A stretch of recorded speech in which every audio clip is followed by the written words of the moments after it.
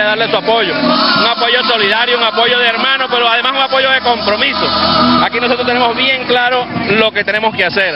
Al contrario, quisiéramos nosotros recomendarle a los señores de la oposición que miren lo que están haciendo, que la vía de la confrontación jamás la van a lograr como victoria. Es importante que ellos sepan que el pueblo chavista está preparado, el pueblo chavista, chavista tiene la disposición de defender al presidente, de defender la revolución, de defender la constitución y sobre todo defender al pueblo.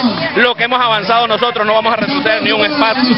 Y ellos, para ellos inclusive, la mayor garantía de supervivencia es que Chávez siga donde está, no por, no por dos años, ni por tres años, sino por muchos años, porque para ellos no tienen un liderazgo dentro de su fila, no tienen absolutamente nadie que los represente, es un completo saco de gatos de la Cuarta República que están cabeceando para ver quién se asoma. Nosotros no, nosotros tenemos al líder, tenemos el proyecto, tenemos el pueblo, tenemos el apoyo incondicional, mira, de todo el pueblo, la Fuerza Armada que por fin, por primera vez, se siente representada, se siente verdaderamente en el rol que le corresponde, que es estar al lado del pueblo y no para reprimir al pueblo. Ellos cuando hablan de represión, ¿quiénes hablan de represión ahorita? Los que reprimieron al pueblo. Si no les echamos los cuentos de los muertos de la Cuarta República, de Jorge Rodríguez, del comandante Claudio, de, toda de Libia, de toda esta gente que ellos asesinaron durante la Cuarta República. O por ejemplo, quienes hablan de libertad, ellos no están hablando de libertad de expresión, sino de libertad de, de presión y hablar de derechos humanos que quizás la, la, la, bandera que están utilizando en este momento, yo lo, yo llamaría que ellos defienden son los despechos humanos, porque están despechados y están despechados porque el pueblo les pasó factura y les va a seguir pasando factura. Nosotros hoy, desde aquí, le damos apoyo al comandante, le damos el apoyo a la revolución y ante la arremetida del imperio, ante la arremetida de la oligarquía, ante la guerra no declarada de Colombia contra Venezuela, nosotros nos debemos sentir unidos. ¿Qué la marcha de ayer donde más de 100 ciudades rechazaron al presidente Hugo Chávez? Mira, de verdad, las gráficas lo que dan es pena, ¿no? Porque es fácil poner en una esquina cinco personas con un cartel y esas eran las gráficas de las 100 ciudades del mundo.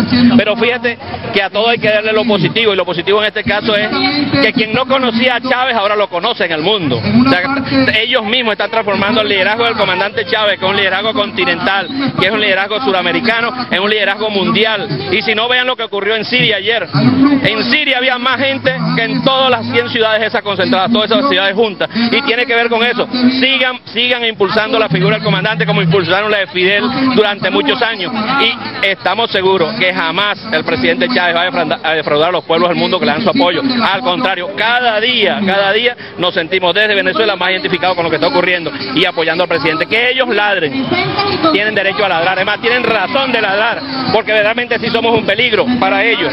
Somos un peligro porque nosotros impulsamos, es la igualdad, nosotros estamos impulsando los valores socialistas, ellos lo que impulsan son los valores capitalista, la depredación capitalista.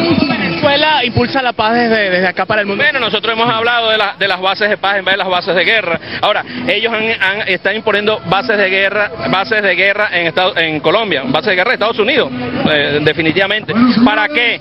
Para una guerra. Con, ¿Y quiénes son los que van allá a la guerra? Los pobres. el pueblo colombiano tiene que estar pendiente que si los empujan a una guerra contra Venezuela, van a pelear son los pobres, porque los grandes capitales no van a mover ni un dedo. No hay jamás y nunca un hijo de un capitalista si no son los pobres. Bueno, desde aquí nosotros predicamos la paz, predicamos el amor, predicamos la unidad, la solidaridad, la tolerancia, pero con respeto. Lo único que le pedimos al mundo es que nos respete.